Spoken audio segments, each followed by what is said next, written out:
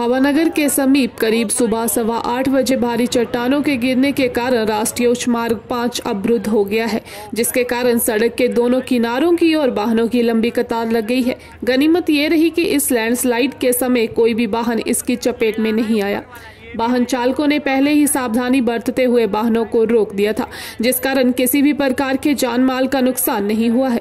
अभी और भी पहाड़ी दरकने का खतरा बना हुआ है। एसडीएम भावानगर बिमला वर्मा ने जानकारी देते हुए बताया कि अवरुद्ध मार्ग को खोलने के लिए एनएच विभाग व एस द्वारा मशीनों की तैनाती कर दी गई है। व जल्द ही यातायात बहाल कर दिया जाएगा।